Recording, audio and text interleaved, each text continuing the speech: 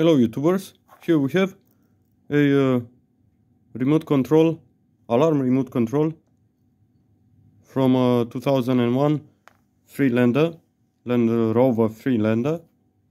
And uh, after we check everything we found that uh, the resonator uh, doesn't have the the the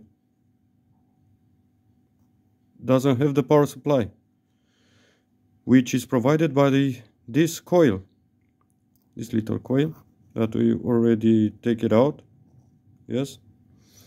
And after we uh, after this I'll check the coil with uh, the help of this electronic microscope.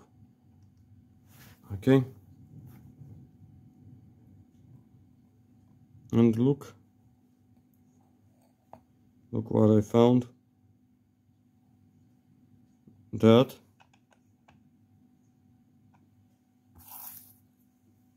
This lid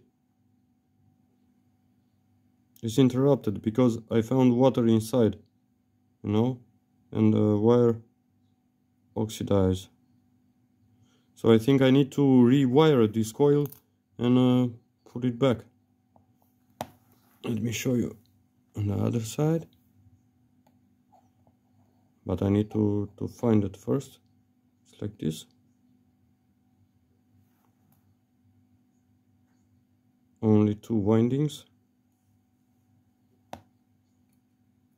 Let me okay. I think uh, it will help you if you if you're remote makes problems. Thank you.